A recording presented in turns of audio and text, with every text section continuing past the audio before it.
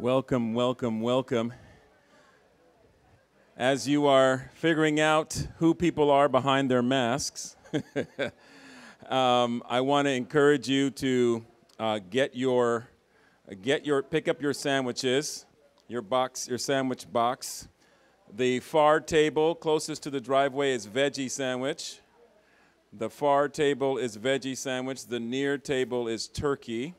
So uh, please go ahead and help yourself to your box, and um, and and please touch the box you take, or take the bus, box, box you touch.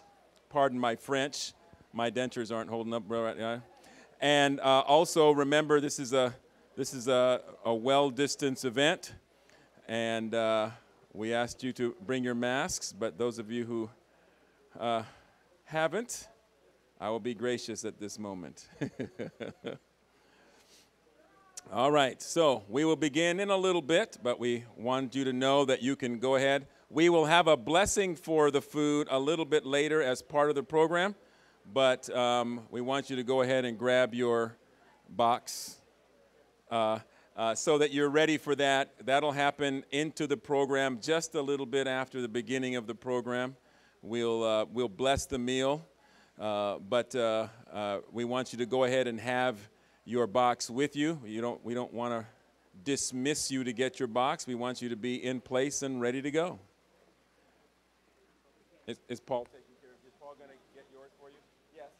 You guys, you guys, you guys are covered. Yeah. All right. Exciting, exciting.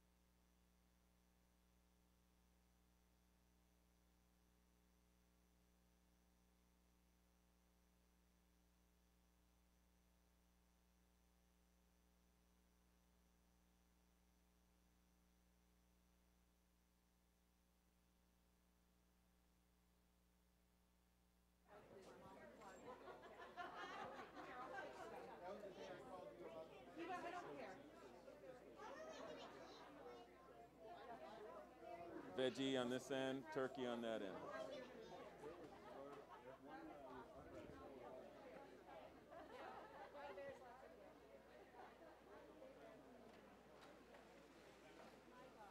There you go. There you go.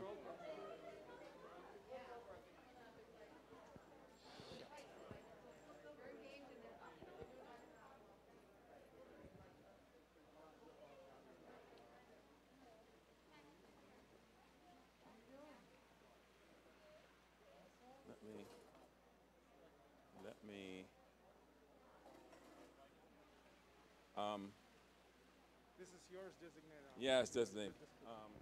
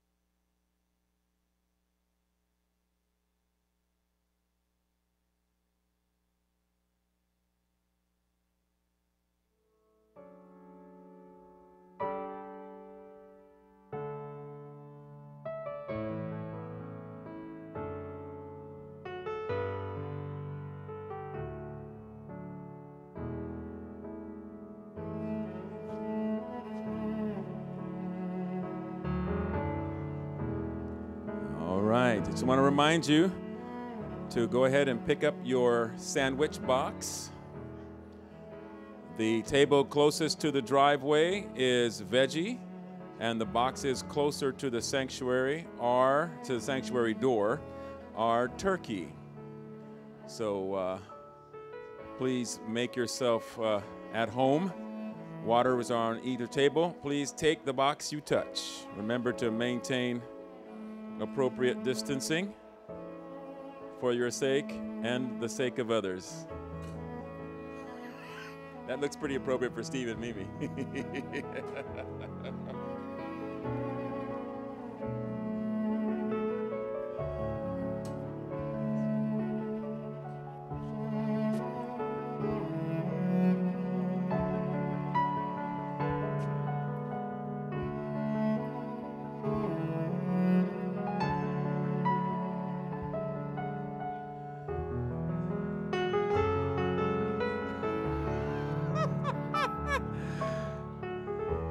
As you walk around this uh, this afternoon, please be mindful. We have reported uh, a lost hearing aid, so if you happen to see one as you're walking around, uh, please let me know or let Don know here up in the front to your left and my right.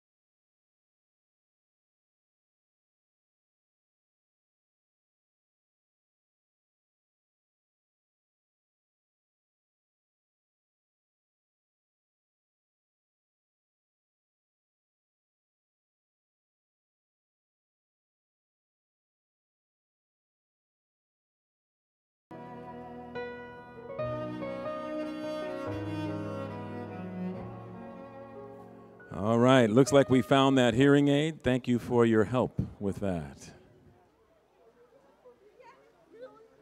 We're about to begin, so I'd like to invite you to find a seat or a chair or a place.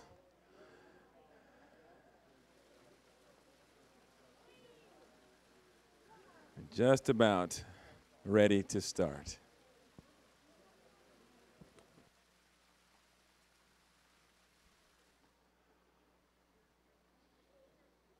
Good evening, everyone. We encourage you find um, a seat. Uh, we ask that uh, we have should have plenty of chairs, uh, six feet distance if you are not of the same household. Um, would like to keep it as safe as possible. There are quite a few of us uh, here are from a high risk category. We want to stress again that safety is the foremost important priority for us um, today. But at the same time, we cannot um, help it but to, to, see and to be drawn. to so many people. I just want to, when I saw Betty, I, I, the first impulse was just pick her up and run with her and, and to um, somewhere lock her up in this church and never let her go again. Um, when we see each other, we feel that this church family that's been here, it's um, more than just a building with a bunch of people. It's truly a family. And today we're gathered together as a family. So in some ways, we all members of one household. So let's um, Let's celebrate the life of someone who was who've been uh, truly uh, glued to this community. And um, I have uh, bittersweet emotions right now. And I'm going to start with the bitter part.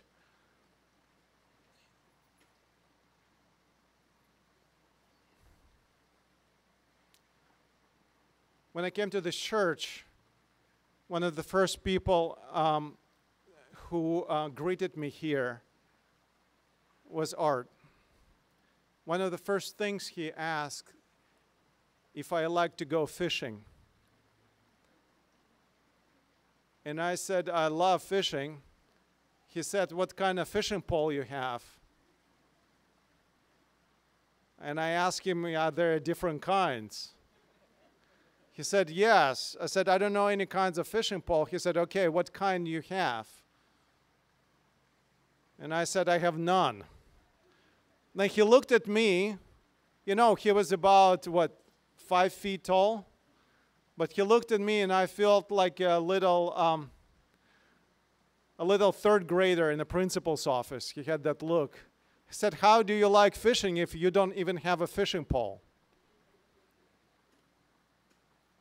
He said, I'm, I cannot do it, Pastor. I cannot let you to remain to be a liar. That sounds like Art, right? Tell me I'm on the right track. He said, And how are you going to do that? He said, I'm going to take you fishing. We're going to go fishing, and then you can tell that you have a fishing pole.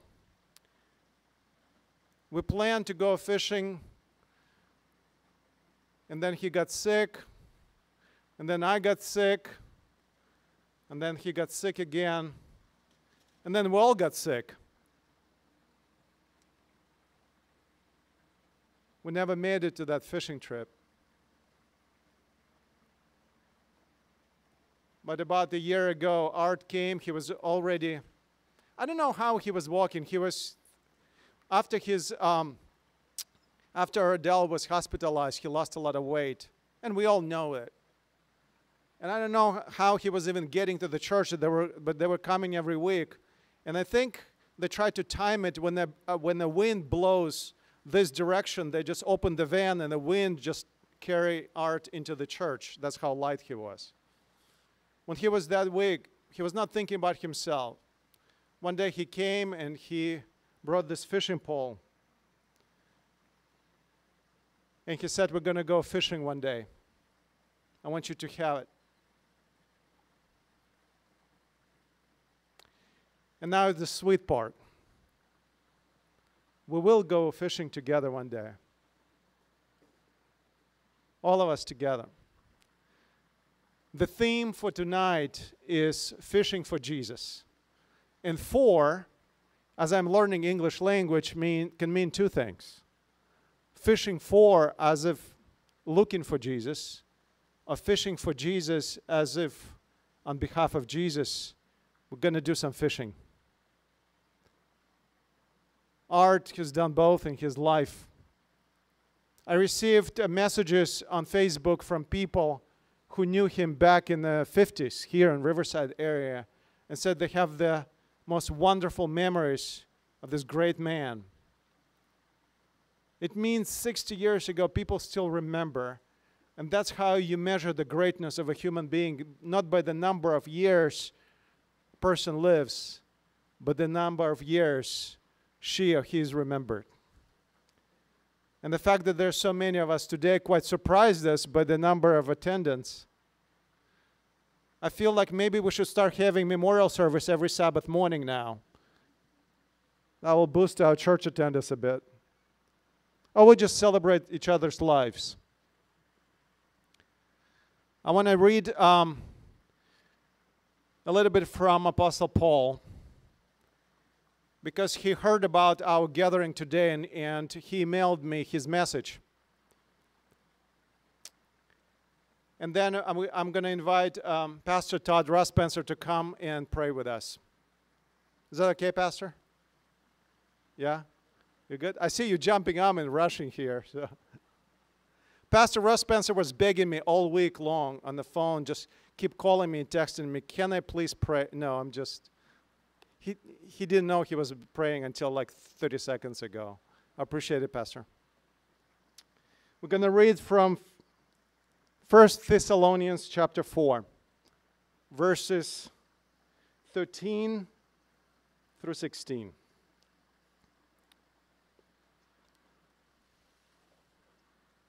Sisters and brothers, we don't want you to be ignorant about those who fall asleep or to grieve like the rest of human beings who have no hope.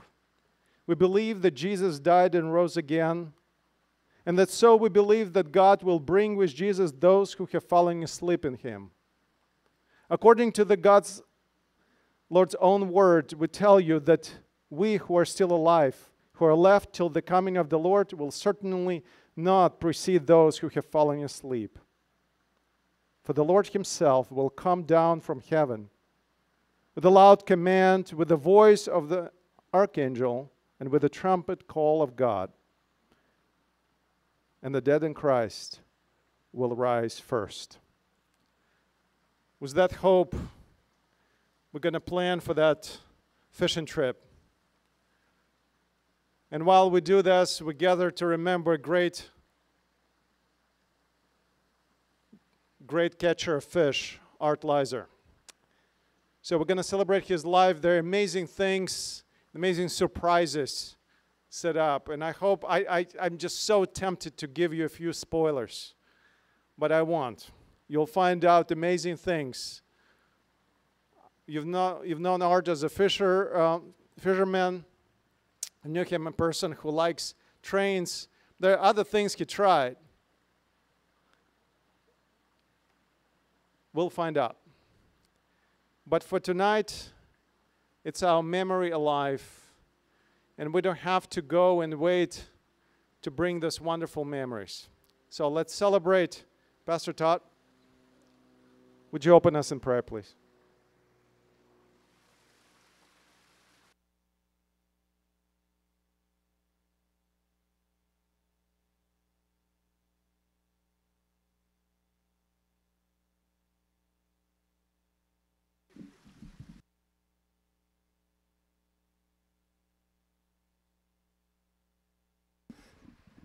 it's good to see you. Glad you're here.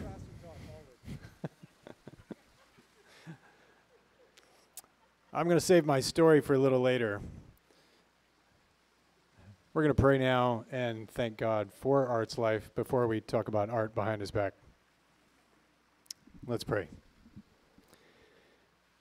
God, thank you so much for people like Art that lived in such a way that it impacted our lives. You always knew where you stood with Art, and you always knew where Art stood on things. In many ways, that reminds us of you. There was a strength in his character and a love in his heart that just broke through so many things. In many ways, it made life simple, it made friendship with him simple, and that made it good. We're so thankful for that. We're thankful for him. And we're thankful that this is simply a pause in that friendship. So as we celebrate him today, we also celebrate you in the life of people. We celebrate that you are living in each of us, impacting each other.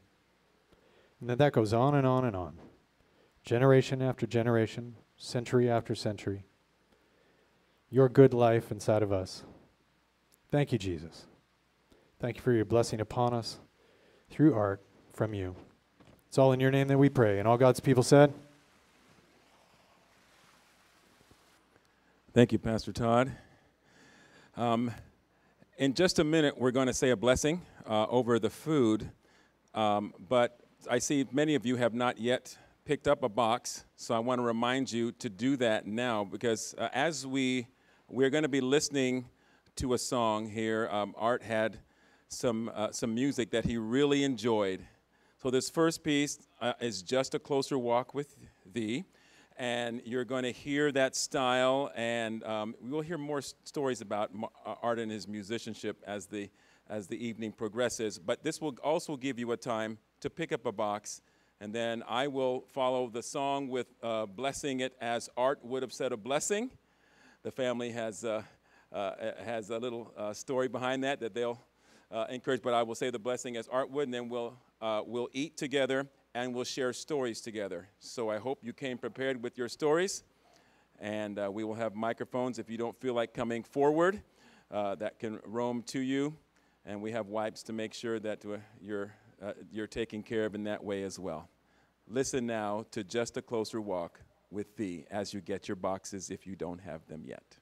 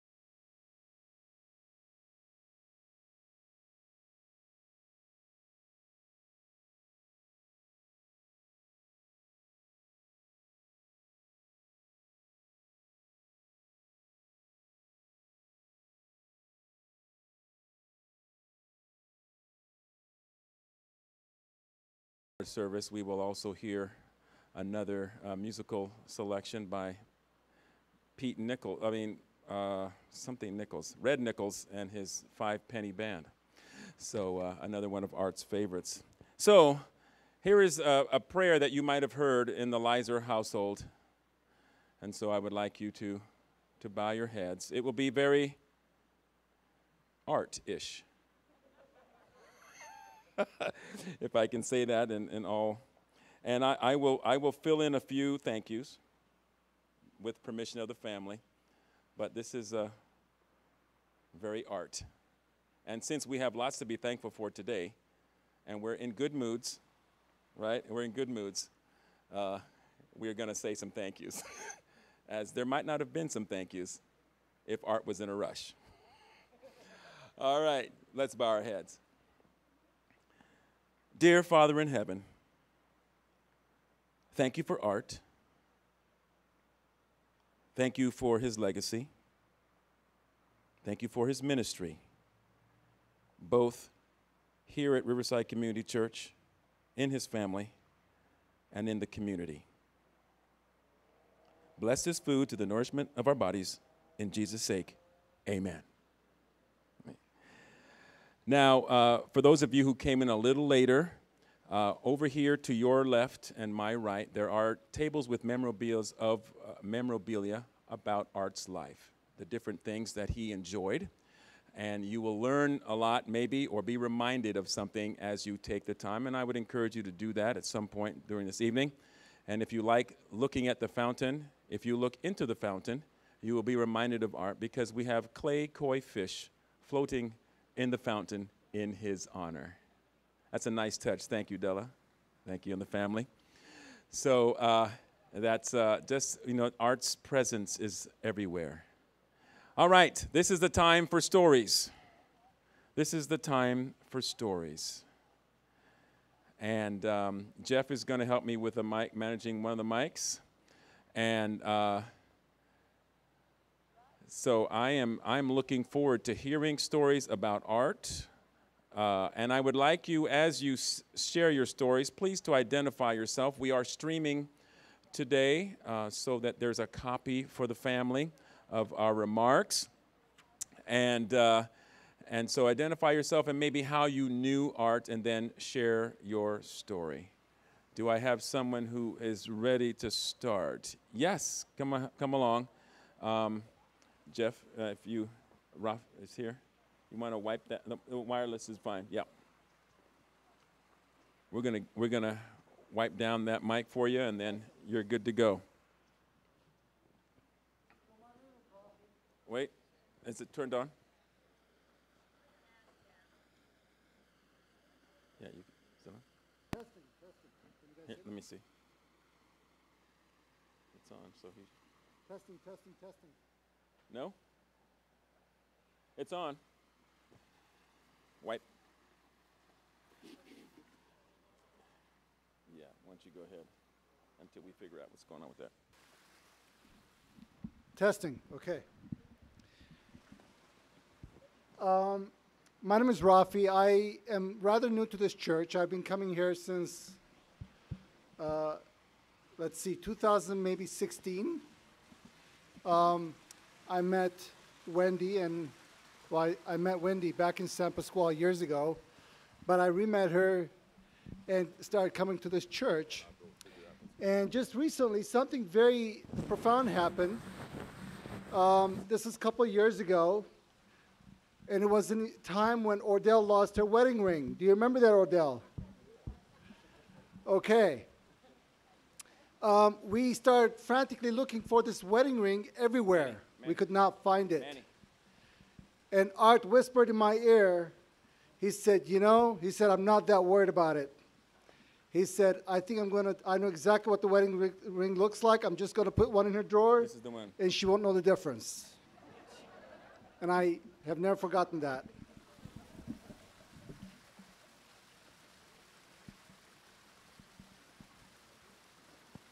All right. Anyone else? All right, Johnny's coming.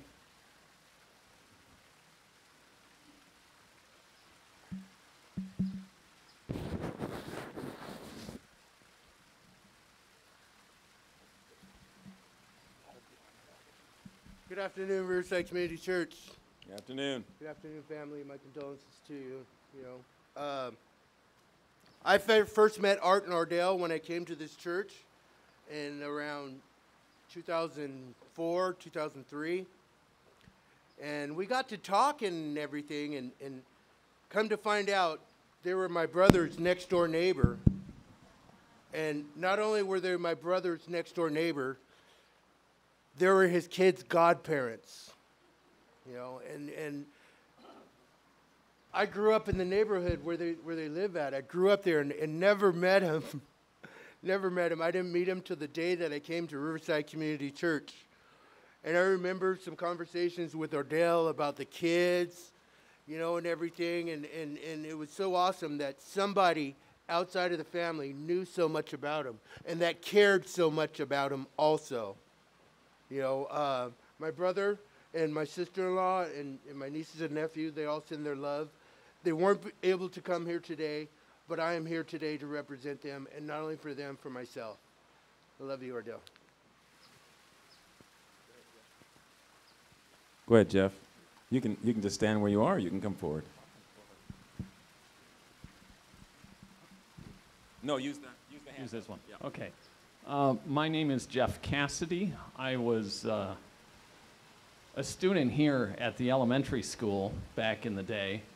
Uh, actually, David and I started first grade back in the fall of 1970, and we went through eight years here at the elementary school, and we had a lot of good times together. Um, the, the memory that sticks out for me about Art Lizer was he back in the late 70s we used to have these uh, youth trips where we would go on either to a river or a lake and we would do water skiing and i was not the most coordinated youngster uh, and it took we had a number of different boats and, and boat operators and i tried uh, behind at least one or two others and it took me multiple, multiple times trying to get up on skis. And, and this wasn't slalom, this was two skis that I was trying to get up on. and I was getting very frustrated. And then I took a trip on Art's boat, and I don't know what it was. He said like one sentence to me to describe what I needed to do to get up on skis. And I hopefully I wrote down what he said somewhere. I don't remember it now. But I remember that he told me that I got out behind the boat and he took off and I popped up. And I was so proud that I was able to get up on skis. And so after that, I enjoyed being on these river trips uh, much more. Now, I think the last time I saw Art was two or three years ago at a memorial service over at La Sierra. I wish I had taken the time at that point to thank him for how he helped me out then. I don't think I did, so I'm wanting to do that publicly now. But I, I, Art was a very important presence in our lives here at the Riverside Church and also for those of us who were in the youth group and, and which were often part of the uh, church school that we had over here. So I have many good memories of Art. Thank you. All right. Thank you, Jeff. Another Jeff. Jeff, there's a, a hand right over there.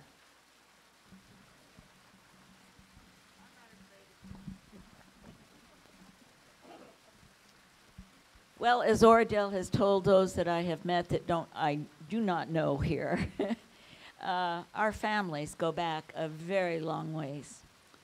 Back to old Long Beach days, um, Art worked for my dad. In fact, I think he drove the truck even to make deliveries. And uh, Grace worked for mom in the office, and uh, Art loved my youngest brother, Larry from the time he was a tiny baby. and um, I guess he helped make up for some of the fact that I didn't want him. I wanted a sister, and when they told me it was another boy, I said, stomped my foot on the steps of the Long Beach church and said, take him back where he came from because he's not coming to live here. And Art carried him around on his shoulders until Larry got too big, and then he pulled him in a wagon. And back a little further, I remember uh, I rode to school to Lynwood with Art and George. And uh, we had to wait one day for uh, a while after school. And so when he came out, I said, Well, what happened? And he says, uh, The name of the principal was Mr. Dart. And he said, We had to have a little Dart to Art talk. And uh, I don't ever, I don't think he ever told us what it was about, but uh, you can put your own interpretation on that. And we were part of the group uh, with us that my folks did not want us running the streets uh, of Long Beach during summer. And uh, we would go to camp meeting at Lynwood, and then we would go to Hurkey Creek. People here know Hurkey Creek? Okay, well, Grandma stayed with us, and Mom and Dad would bring up friends, and um, they would get the reading course books at camp meeting, and Grandma would read all of them for the different ages of us. And Art had gone fishing over at Hemet Lake. And he had a little coffee can that he put worms in. And he came back to camp and we asked if he'd caught anything. He said, Well, yeah, but he didn't think we'd really like what he caught. and I must say, my grandmother was deathly afraid of snakes. And it somehow got out of the coffee can. And grandma turned as white as a sheet, and Art did manage to catch it again and put it back in the coffee can. And then grandma told him in no uncertain terms, You get that thing out of here now. So we love to play cards together, do puzzles. Um, we had a very, very active youth group at the Long Beach Church.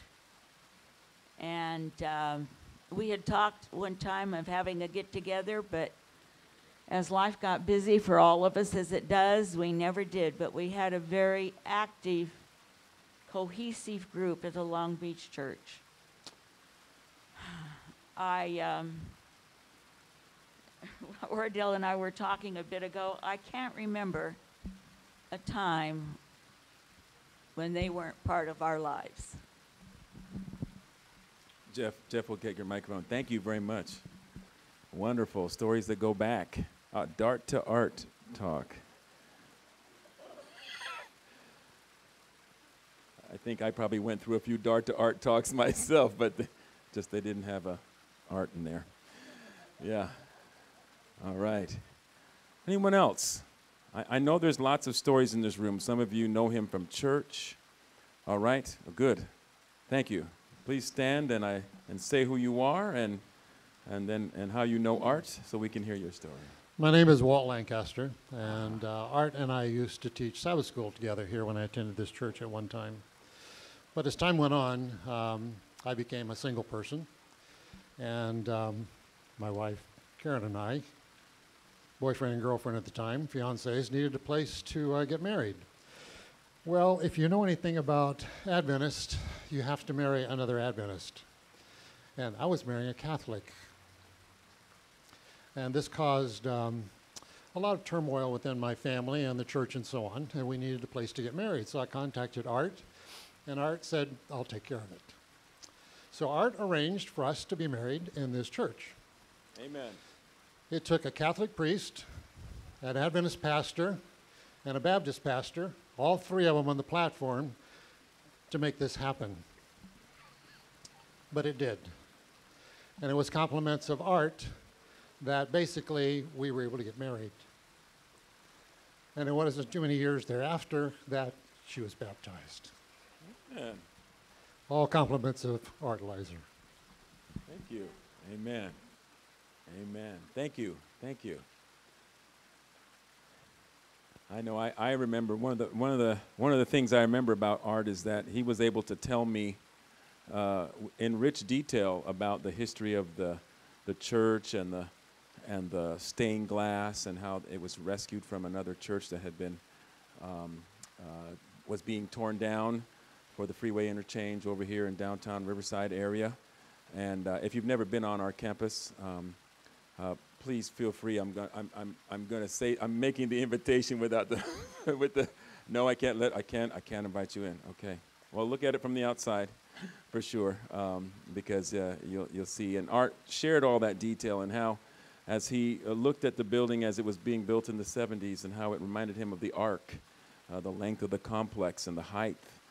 Uh, and uh, I, I will always remember Art for his rich stories and the detail uh, that he carried with him. A lot of uh, generational wealth there. Does anybody else have a story that they would like to share? Whether you worked with him or whether you went with church with him? Yes. I see a nice young gentleman here coming forward. Uh, and as you're thinking about your stories, remember that we all know art differently than, than, uh, than his kids do and his family does. And so even if you think your story is yeah, maybe insignificant, it adds to the, the rich tapestry that uh, the kids get to have as part of their, their memories of their dad through the experiences of how you experienced art. And so I want to encourage you, really, to, to think, and even if you don't share it publicly with us here, to make sure and share some of those things because that adds, that adds a great deal. Hello. My name is Tim. I, I actually have a couple stories if you don't mind. Oh, yeah, go, man. Go on. I'm a little.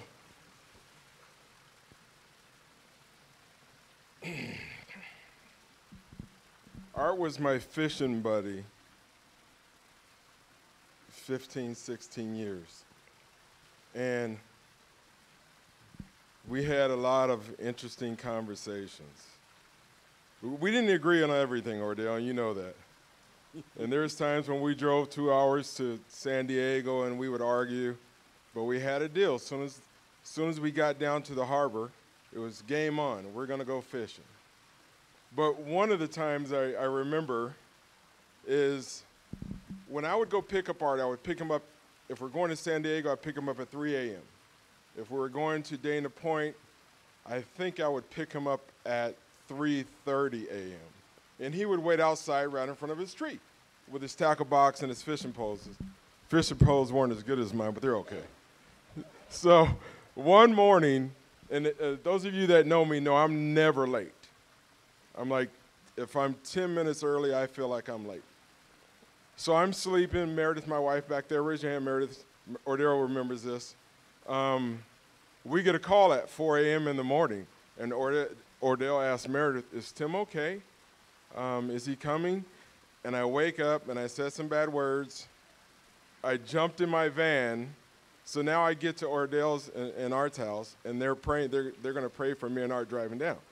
So I pick Art up. I said, "Be quiet. Close your eyes." We're going to get there. The boat, we had to be there at 5 o'clock a.m. And I left his house at 4.15. So we're driving down uh, Tyler, and he said, You're going to pray? I said, no, I'm too doggone busy. You pray and be quiet. So Art prays. We get to, like, we get to, um, I remember the 240, we went to 55. And I tell him, I said, are you going to sleep the whole way? He said, and then he told me, he said, you told me to be quiet and keep my eyes closed. And I said, no, I didn't re- really mean that. So we get, on we get on the boat that day, and it started out a little bit slow. So all of a sudden, there's like 50 people on the boat.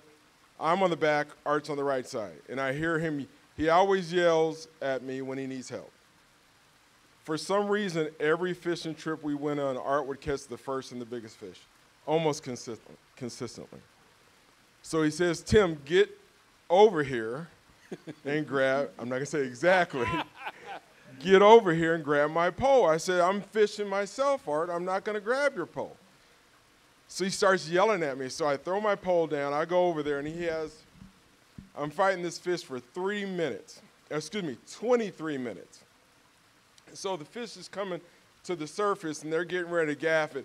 Art elbows me in my ribs and he says, That's my fish, takes the pole back and gets the fish on the boat.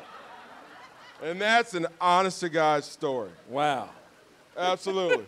it's crazy. So there was, a, there was another time, I'm going to try to make this as correct as I can. My wife said, Tell all the good stories. I said, Okay.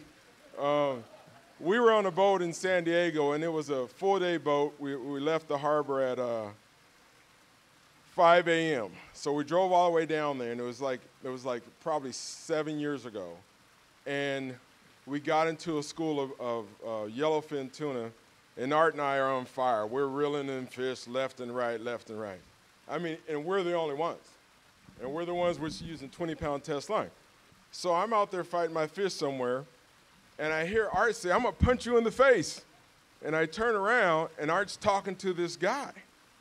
And something had happened, right? So immediately what do I do? I drop my stuff, I run back there, right? And I said, Art, are you getting in trouble again? Because, you know, Art and I had this unique experience on boats where we always got into trouble sometimes. Hmm. I don't know why, but he would say something, and I would, you know, if I was his backup. I was his bouncer on the boat all the time. So he says something. I said, I need to talk to you right now. So he reeled his fish in. We went up into the galley. I said, listen, man. I said, when we get on these boats, you got to calm down a little bit because I don't want to have to defend you all the time. So he said, you don't know what he said about you. I said, I don't care. Then he told me what they said about me. I said, say that uh, stuff all you want, Art. And the funny thing is that gentleman became one of our friends on the next six trips we went on, the same guy was sitting there helping Art and I fish the whole time. Last thing, I have much more stories. Keep on. But one thing about Art is that, you know, with him, he could catch one big fish, then he was done. Then the acid would build up in his stomach.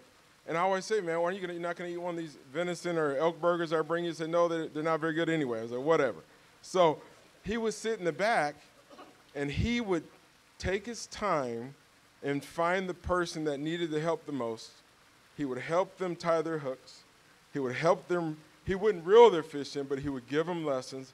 It was an amazing experience, and I have so many warm feelings for him. One, because he could handle my personality, as some of you do know, which is great. He didn't back down from me, and he stood strong. And Art told me he loved me.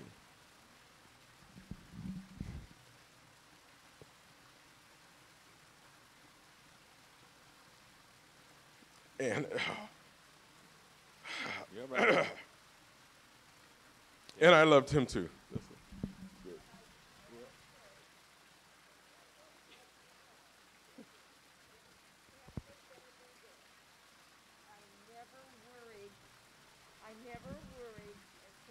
I saw them.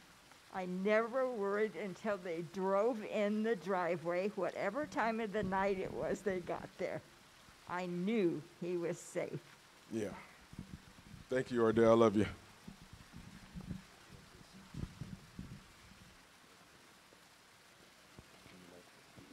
All right. Thank you, Tim. Thank you. All right. Next up, I think we're going to hear from Keith.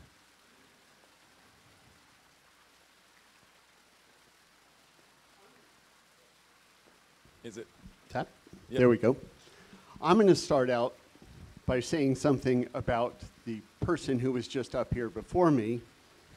My brother in God, Tim, my friend. Did you notice he had a bandage on a specific finger? he, he told me it was about a tire. I'm now thinking it had to do with a fishing boat. I just want to say that.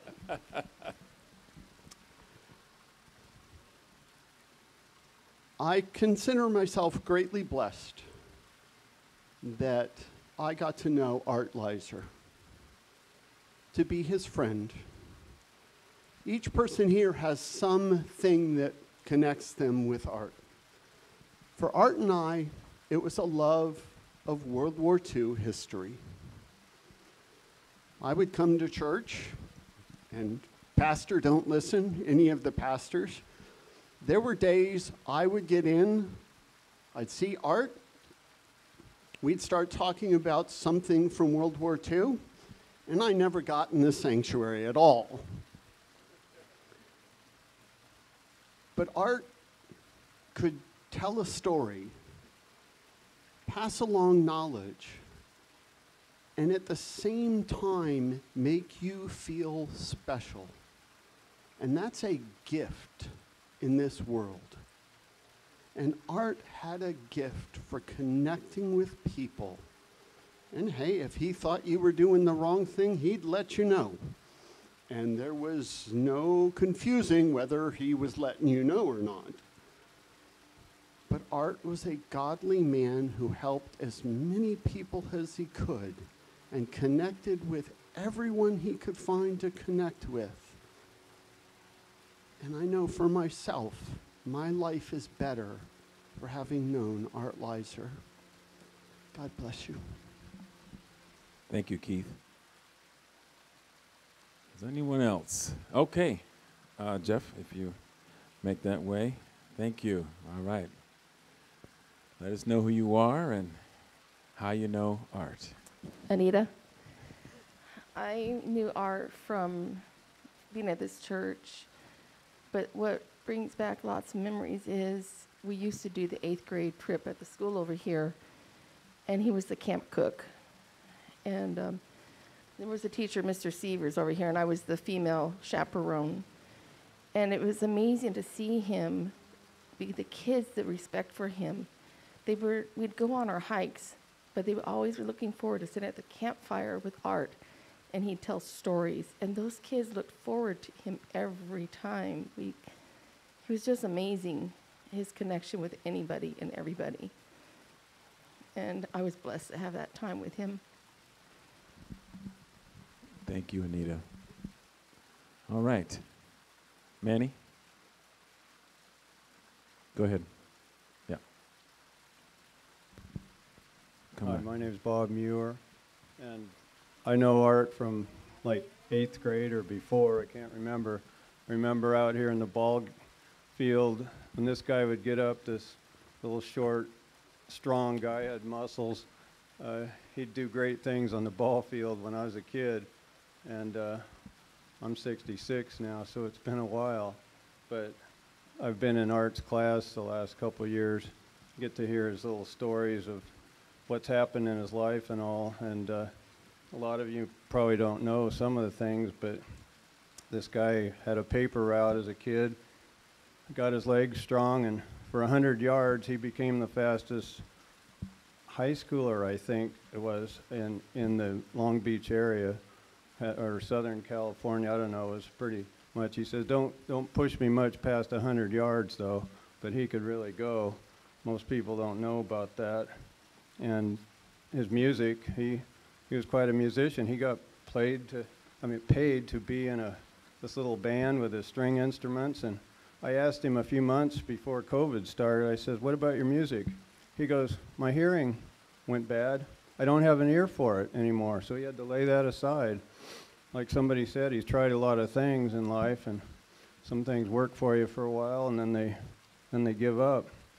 What I was real impressed with was his love for organic chemistry. A lot of people start college and, oh, I got to take organic. He just loved organic chemistry.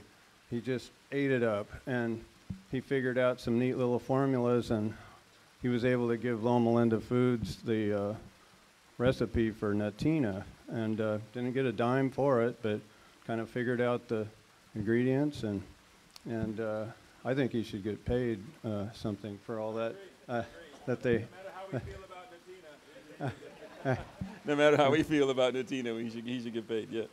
Um, I, I got to hear more about his uh, occupation with the Indians, and uh, it, it takes a special person sometimes to get a certain job, and he only got that job because he was multi-talented.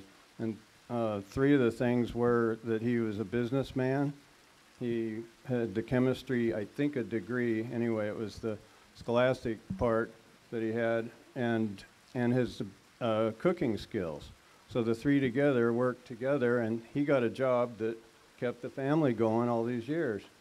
And, uh, you know, that's amazing. When I was uh, 22, um, he was walking over to the Sabbath school rooms over there to teach the juniors. And I see him walking by himself, and he says later in his little class back here, he learned more from them than he thinks he taught them. But uh, he was always putting out, being on school church boards, you know, working like crazy, just staying involved, you know, doing stuff. And uh, the,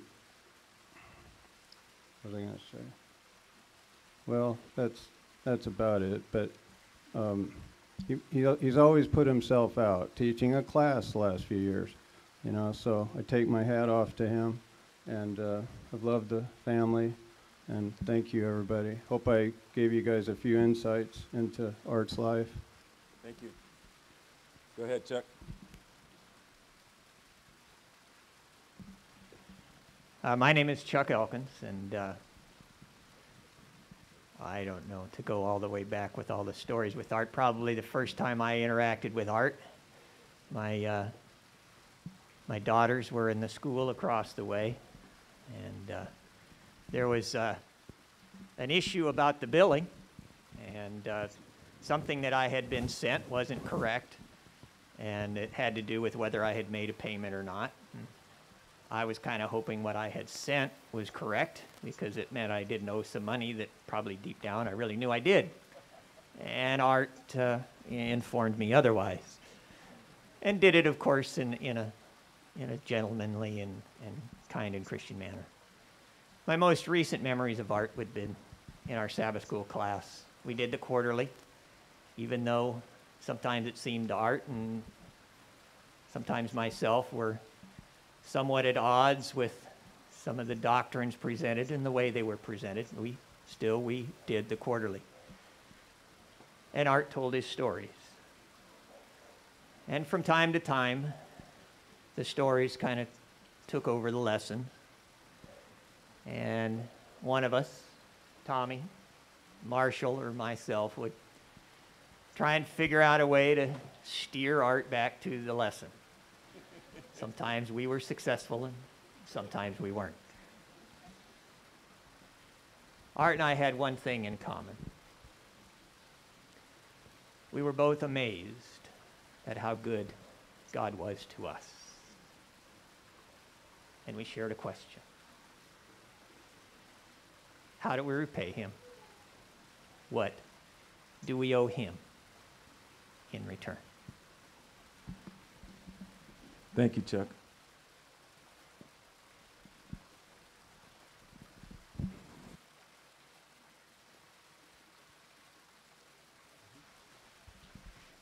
Um, good evening, everyone. My name is Afuya um, Kumalo, and I am the nutrition director with Indian Health.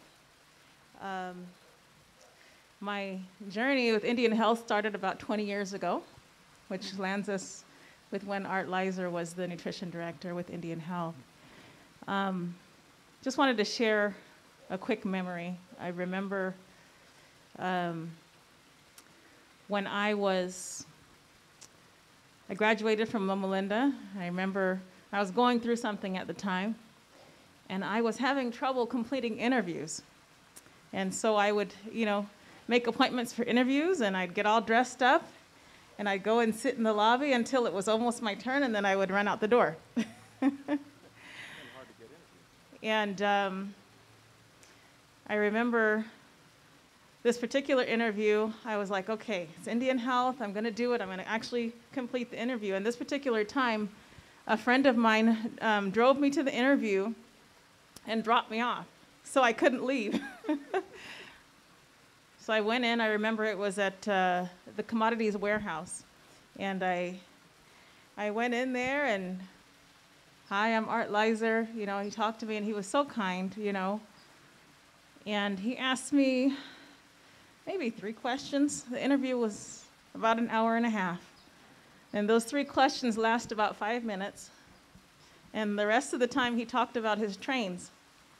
and I, I, I, I left my nervousness behind and I was just like, man, this guy really loves trains. And, um, and I kept thinking, what is he thinking? Am I, you know, am I even eligible for the job? Maybe he canceled me out a long time ago. And, and, and then, you know, it seemed like the interview was over. And he said, oh, by the way, can you start on uh, a Monday or is Friday better for you or what? And, and I was just like, uh, any day is fine. And, and that was it. I, I became the new dietitian with Indian Health, and um, I learned a lot from Art.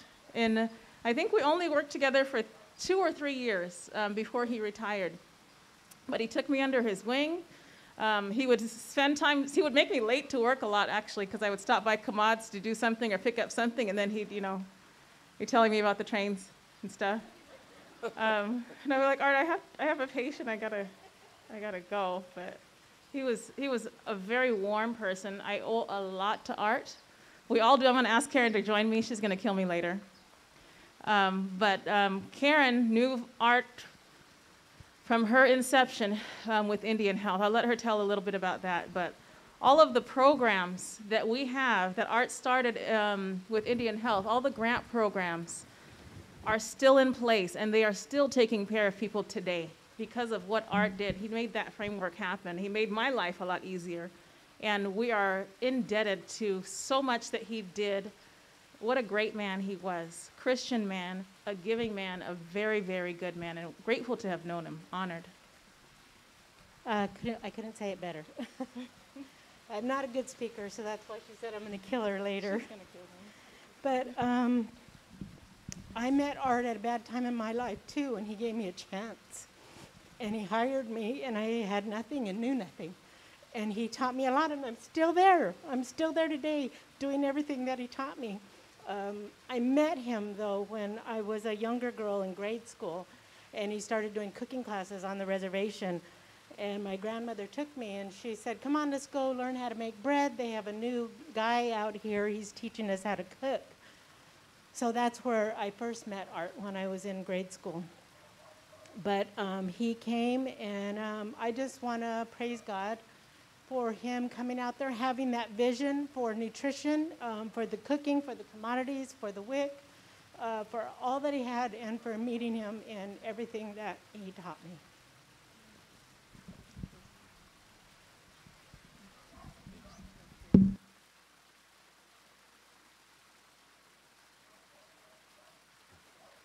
All right, we have another story over here on this side. Um,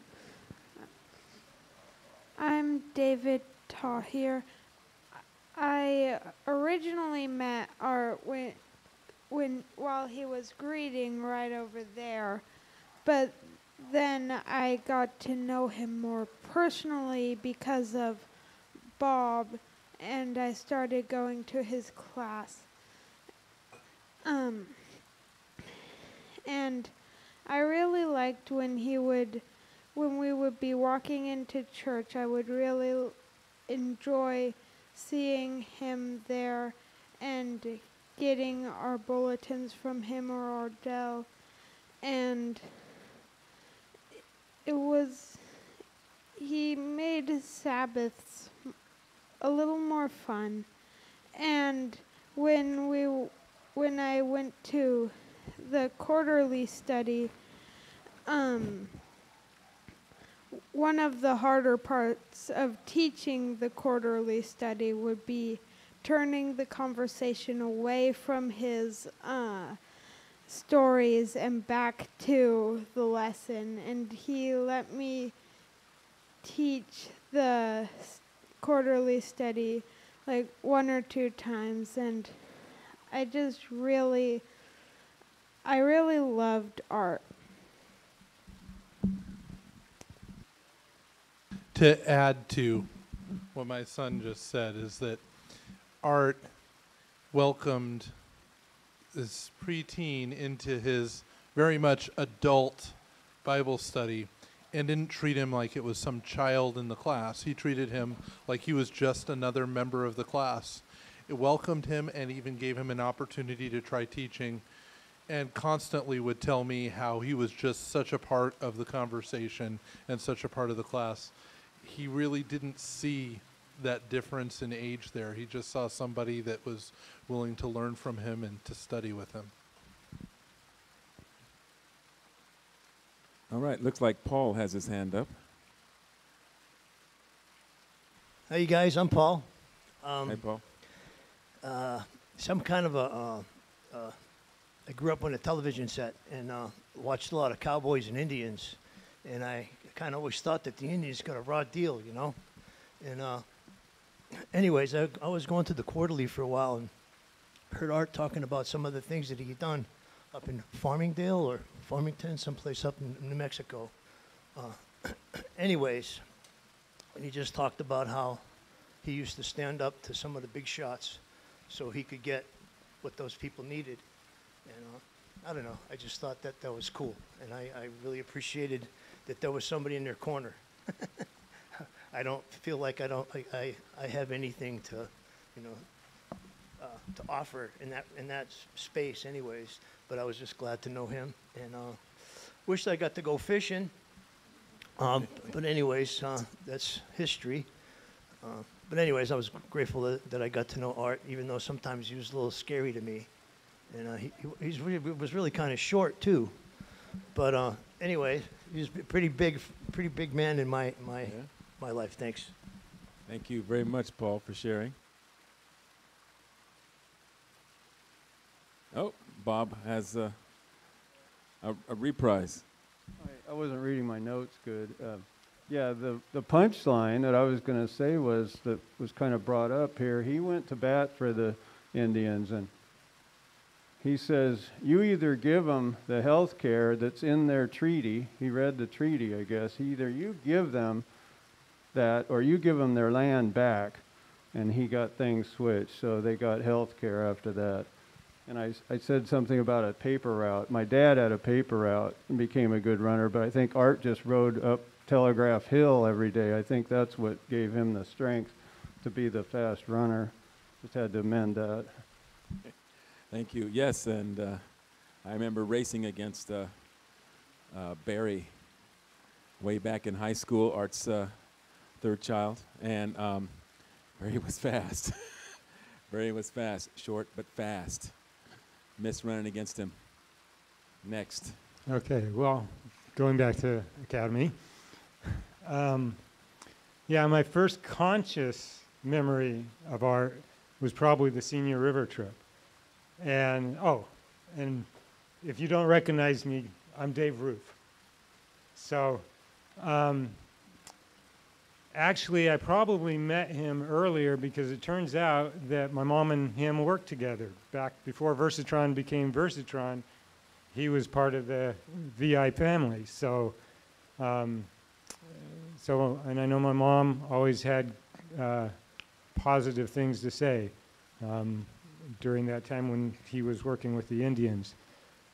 For some reason, on our senior river trip, I don't, I didn't get to be on the boat, man. Maybe I would have turned out to be able to ski if I had, but um, I remember Tracy going, being a little bit embarrassed by something he did, and after hearing some of these stories, um, you know, maybe she had some reason, but um, after that, just maybe two or three times in the ages between academy and where we are when the Korean church came to this campus, I just run into Art and Odell um, in the in stores, which is kind of odd because we don't live that close together. Um, but I would see them and know them and ask how the kids were. So then when I came here, the first time that the Korean church came here, and I'm with the Korean church, the English ministry part, um, I went in the first time that we came over, we had the, the Sabbath school combined with arts. And I walk in, and providentially, the only seat there is right next to Art. So I sit down, I know who he is, but he didn't know who I was at this point. And so I, you know, he had us go around, say our names, and all of a sudden it's, Roof! Oh, I worked with your mom. And, and so, you know, that was just, that kicked it off. And so since then, I've just enjoyed having, uh, you know, the talks that I've had with him here. Um, you know, I know that one time he told me, uh, even if he didn't get to talk to me, you know, he just enjoyed seeing me here, and that, you know, really felt a certain level of belonging. And, and I know that he celebrated being ornery, but, um, you know, I think he's mellowed over the years, and I really, uh, I, I love O- Ordell. I'm not quite sure how I pr- am, have been mispronouncing it, but um, As long as it's said in love, it's pronounced correctly. so um, I just, I, I was when when Bob told me that he had had uh, died, I was just really saddened, and um, but I know that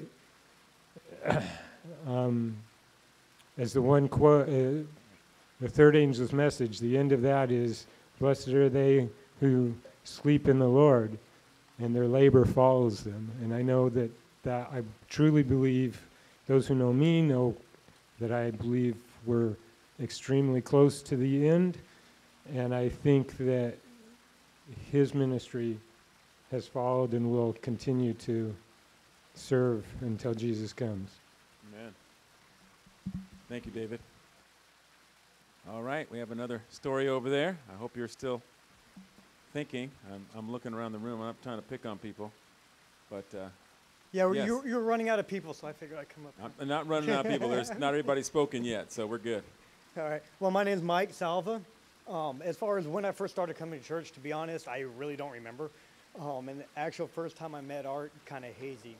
But but um, being here, I ended up becoming the deacon of the church. Um, uh, I, I was here a lot. I spent a lot of time here, so I got to personally art, know Art pretty good. As far as the stories, I don't think we have time to go through all of them. But um, Give us a taste, man. Give us a taste. um, oh, story, story. Okay. Well, the one thing I'm always going to remember about art, the one thing I will never forget, I am a meat eater. I like my meat. The first time I tasted Art's almond patties, I fell in love with the veggie patty. Uh, It was amazing. I will never forget that. And every time we had a, a, a the, Potluck? like- the potlucks, Yeah. I was hoping Art would bring those. You know, it, it's something I will never forget. I managed to finally get the recipe from him. It took a while because Art always had a lot on his mind, and I finally got it from him, so I have that at home. But that, that is that is probably the one thing I will really remember about Art. Um, the other thing is is God does things for reasons. Um, I never saw myself being in a church family the way that, that, that it ended up. Um, God had, had put Art in my path. We crossed roads, and it, with him and Ordell, the blessing in my life, just like a lot of you guys here. Um, Art was very special. Art was uh, stubborn. Um, now, everybody keep talking about how short he was. He wasn't short. We saw eye to eye. Great guy. You know? So, um, yeah. Um, that's, that's pretty much it. All right. Thank you. Thank you for sharing. Pastor Todd? Yeah, that's good. So I got to understand art a very specific way. You know, Ordell, you know this. Um, and we all know that art had that side where you just knew where he stood on so many things. And people perceived art in various ways. One of those was that he's a very strong lion. You know, he just he had his bite and he had his roar and and you knew it. But the thing that you have to know about art is what you have to know about lions, and that is that inside of every single one of them is a pussycat. There's something very gentle down in there that is just full of love. And Oradell, I knew you drew that out of him, but it's also how you connected, because you're all that. but I came to know art that way. And uh, I can tell a little story to that. And you know this, but I don't think you know that I know this. And that is that when I went to seminary, I knew I would not be able to study and continue to work here full time at the same time. It would be too much. And so I needed to cut back to part time.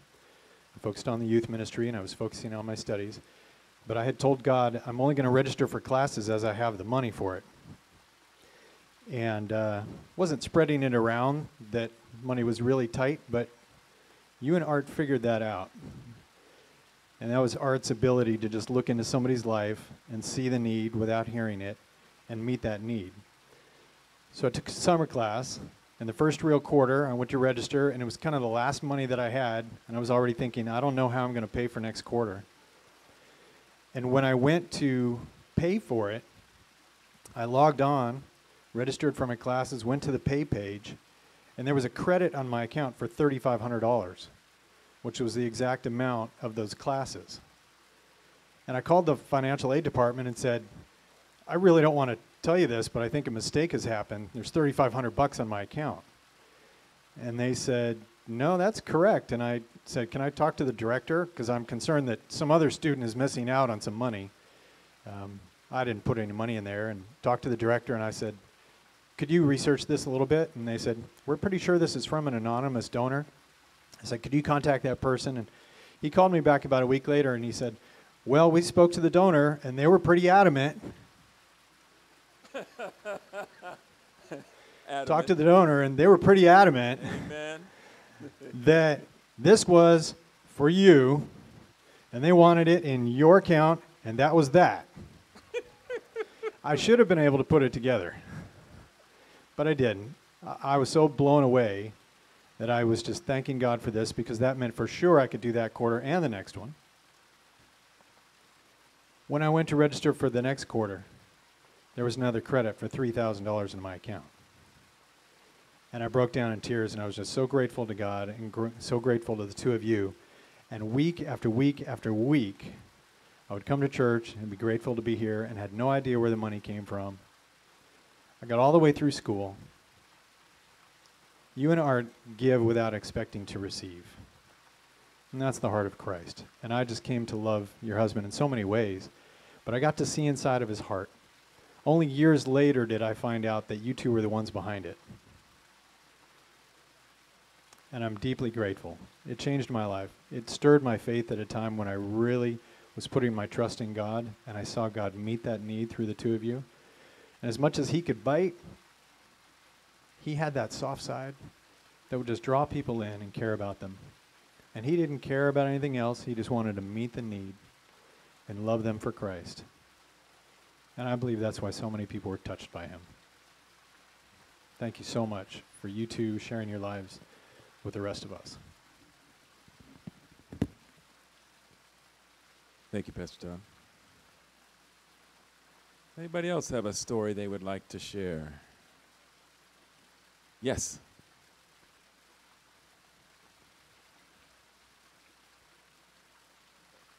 Um, my name's uh, Talolo, and um, I'm a member here at the church.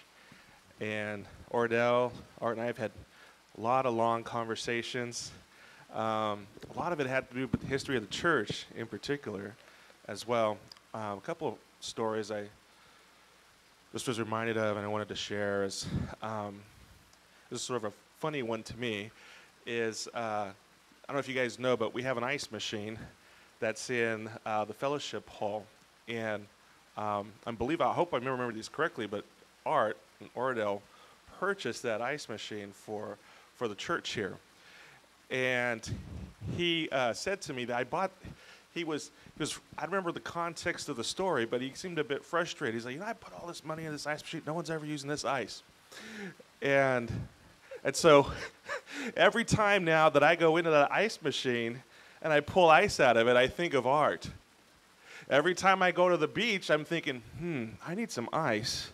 Should I go to Costco or run by the church and help take some of that ice out of Art's ice machine? So every time I need to fill my ice Amen. chest, thank you, Art.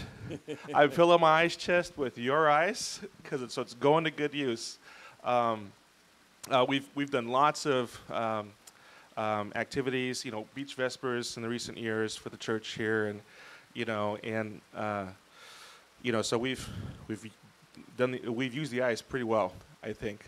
Um, but some more serious, uh, no, serious story was when I first met Art. Uh, he he had shared with me um, that his work that he'd done with uh, the American Native American population um, here locally and and really um, in multiple states and um, and then he he was sharing with me his involvement with something called the WIC program. If you guys know what the WIC, have you heard of the WIC program before? And um, if not, this is actually a nationwide program. Um, I'm a social worker um, by profession. I've been a social worker for over 20 years. And at first, I thought Art was pulling my leg. Thought he was just. I was like, "Wow, how, really? You'd done all this?" And, and by the way, if any of you who are interested, there is a table over here that shows some of that history of his involvement with the WIC program. Um, but you know, I, I didn't realize that I actually had met Art years and years and years ago before I actually met Art. Um, professionally, as a social worker, um, and I just wanted, just to make sure that this is known to to his family, um, anyone who watches these recordings um, in the years to come, the legacy that he leaves behind. Really think about it. I mean, you've heard so many. We've heard so many wonderful stories today but the countless families that he's impacted because of what who because he loves others what he did the part of his his role that he played in that program um, being established um, here and then nationwide i don't know if that program will ever disappear um, and there have been countless families that I have been privileged to be a part of to connect them to this program as a social worker.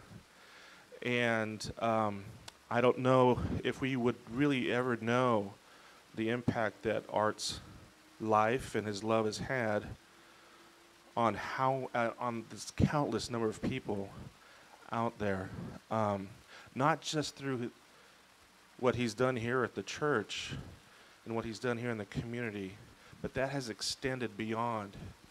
A part of, and I just kind of feel honored in a way, just being a part of teaching next the next generation to use these kind of resources, you know, that arts that arts was a huge part of, um, and so, you know, I just want to say thank you, Art, and I want to make sure that his family knows that, you know, it, go, it goes beyond just Riverside Community Church. It really does and he was an amazing, amazing man throughout his life. Thank you, Tolo. Does anybody else have a story they'd like to share? Come ahead.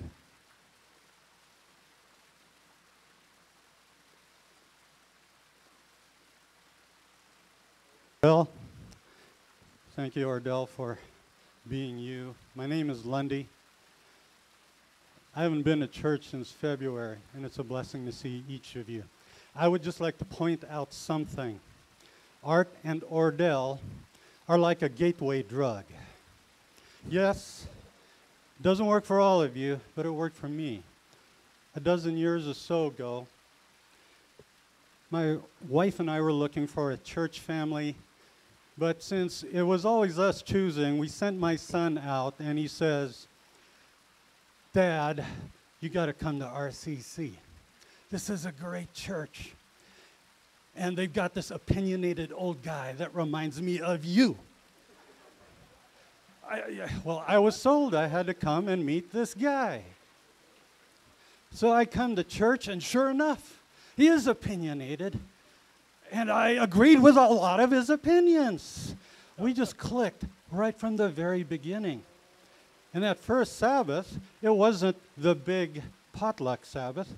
Art and Ordell at that time would invite people to their home. And we were blessed to go to a potluck at their home. And my son, of course, he's 17, 18 years old, and he saw all the trains. That just sold him. My wife, who's tiny, Ordell came over and gave her a gentle hug, and that sold her. And Art told stories, as he's wont to do. And I hear these stories. It turns out when I had first moved to America in 1970, and there was the great flood of Loma Linda, do you remember that? Our neighborhood was flooding, and there was this line of men, I remember, stacking sandbags on the wash, and that was Art. Art was out there, so even as a child, I didn't know him. He was out there protecting my home. It flooded, but just a little bit because guys like Art were out there. And then I find out more of these stories, how entwined he is with this church intrinsically. They've gone back even before this church was built. And then I fall in love not just with Art Nordell, but each of you. Each of you is a story brought about because of Art and Ordell. The gentle hugs, the discussions, the invitations. Folks, uh, each of us could go on. I've only known him a dozen years. Many of you go back decades, a lifetime. And if the story is not clear to you, here's the punctuation on Art's life be like Art, be selfless, be serving. And if it means pushing a point across, be cantankerous in a godly way. And remember to give somebody a gentle hug and a strong handshake and invite them and become part of a bigger family. Thank you for each of you being here. Thank you for Art. Thank you, Ardell. Thank you, Lindy. Anyone else?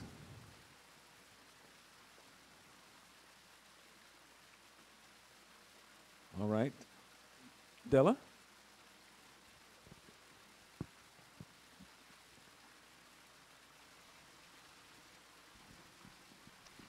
Hello, everyone. Thank you so very much for joining us this evening, this afternoon for this celebration of Arthur Murray Lizer. Man, there's a lot of R's in his name. And we have a game for you to play a little later on your own time. Take his name, Arthur Murray Lizer, and come up with your own words with each one of his initial in his name. So, those R's, there's a lot of them. I tried it already. So, thank you for your stories. Thank you for sharing. Thank you for loving art. And um, I'm here to, on behalf of all of our family, just, uh, just, just, I can't say enough for the overwhelming love that you have showed him. And I have this long list of stories. And I have to read them all because I'll forget them all. But we're not going to take all night to do this because for those of you who watch YouTube, there is someone called the History Guy who is capable of sharing moments of history that deserve to be remembered in 10 minutes or less. So Paul's going to help me here as I pass this stuff on, but many of you have already shared the trivia and the stories that I would have brought to you had you not bring them up. But um, here's a few more little tidbits, and then we're going to send you on your way. So, first of all, food and nutrition. You all know Art shared his love for you and for people through food. He started his career at the La Sierra College, went on to the Loma Linda Food Factory. You heard those contributions, followed by over 40 years in food and nutrition. Some things he did not cook for himself the grinder style sandwiches and See's candy. So, um, as you leave tonight, we have a few mementos and tokens to take with you because some things do deserve to be remembered. They'll be in the back tables back there. So um, do help yourself. The recipe for the pecan patties is there. The See's candy is there. So um, I did hear he did keep a copy of that See's, or that pecan patty recipe in his Bible for you all. So some of those copies back there came from his Bible. So if you get one with special grime on it, you're, you're really treasured. So um, gardens in our home.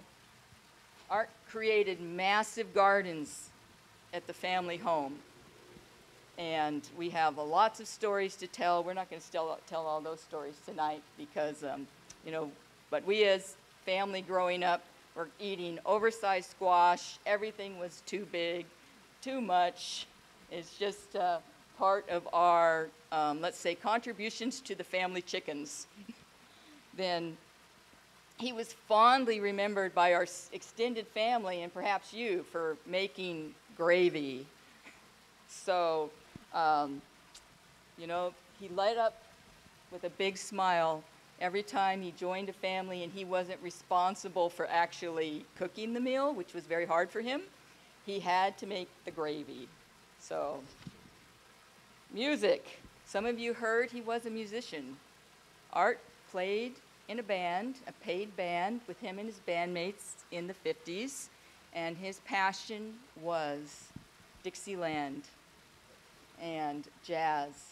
So um, we have a very treasured photo over here on the family table of Art and his band with one of the um, club um, paraphernalia, the, the club advertisements. So he was amazing with his music. He played the trumpet, the violin, the guitar. In this picture, you'll see him playing the drums. Did you know he was a drummer? So, photography. We have thousands and thousands of family pictures, and um, I don't know if we'll ever get through them all, but um, you know, you're more than welcome to help me scan through those pictures someday. Fish, boats, water. Art, I think, was born a fish and reincarnated as a human. But um, fishing brought him peace, happiness, and relationships with all of you. Um, there's always been boats in our yard.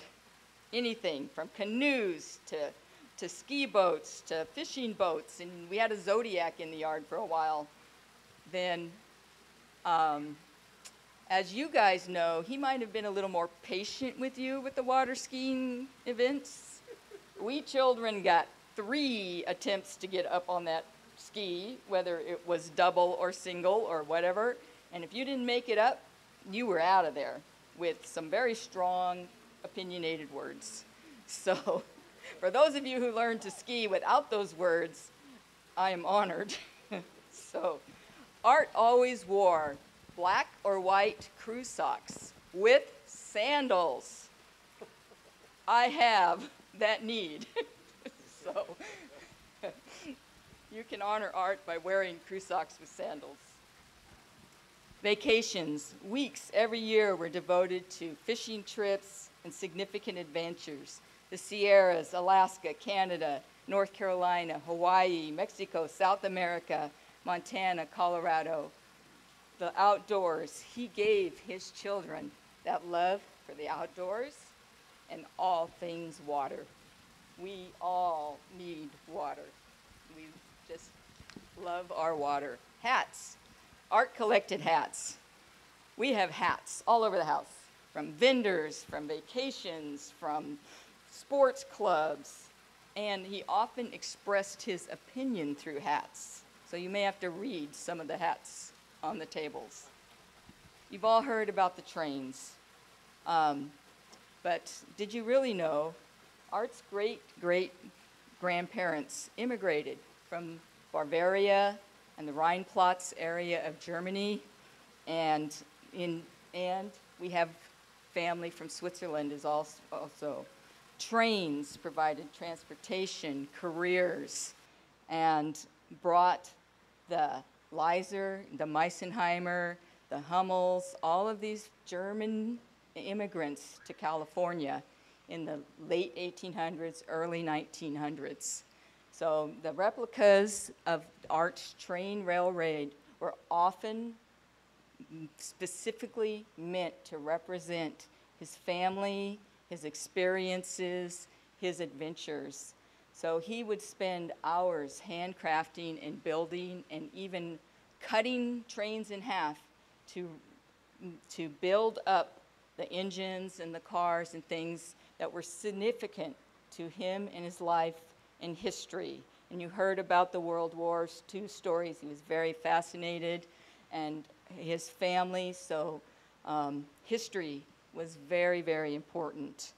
Um, to over here on the table, specific ones, you will see the Lizer family box factory, a hotel, two hotels from his grandmother, he, great grandmother that he owned, they owned in Banning and National City. And of course, that famous See's candy. So, time, you all know he was obsessed with time. Clocks, working, not working, were everywhere in the house. We, as children, somebody said five minutes, 10 minutes. We were expected on time was 30 minutes before the time. And there were very harsh words and opinions if we were not in that car waiting to go to be here 30 minutes early. So that meant an hour for us as kids. So remember, time is important. And that leads us to games. We heard games, card games, all kinds of games. Um, and we heard he was a little cantankerous and a rowdy person. Um, Art's grandmother taught him a version of solitaire to keep rowdy, troublesome little boys out of trouble. And we have copies of that game of solitaire, as well as the pecan patty recipe for everyone to uh, take with you. But um, we want to warn you this game was created for to keep you busy, to keep you occupied. Because if you all know, if Art wasn't busy, he was lights out. so wherever he was, if he wasn't doing something and not engaged with you or with something else, it was night night time. So um, his grandma was very wise. This version of solitaire will take you one hour per game. It involves eye hand coordination, it involves counting, math, and scorekeeping. So we really, you know, would like you to understand that, and that was part of what kept Art, you know, learning and growing and occupied, and gave him patience. This version of solitaire, Grandma also called patience. And as you heard, he was salty, he was stubborn, but he left lasting impressions to all of us, his family, um, his us growing up may have had a little saltier version of Art than you might have had. Um, and, um, but he brought to us, he gave us his, our work ethic, our compassion, our love for people, for nature, for all, all the things that we actually are today as his children. And, and his connection and his history does deserve to be remembered. So thank you all so very much for joining us tonight. And thank you this Thanksgiving season. Thanksgiving was his favorite holiday, and we really appreciate you joining us. All right. Thank you, Della. Yes, indeed. Thank you. All right. Wow, what a special day. I, I know we haven't heard all the stories, so I hope you will take some time and uh, touch base with Ordell uh, directly.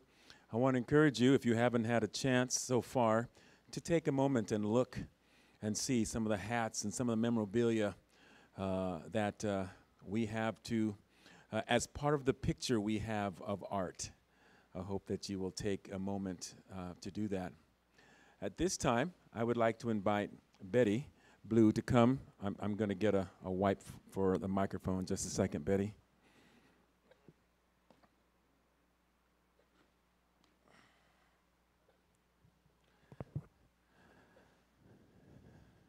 I was so pleased when I heard Betty was going to be here so that she could come and bless us with a prayer. And after, after Betty prays, you're going to hear the Battle Hymn of Republic played uh, so that you will hear again one of those bands that Art really enjoyed. So feel free to listen and, and, and meander.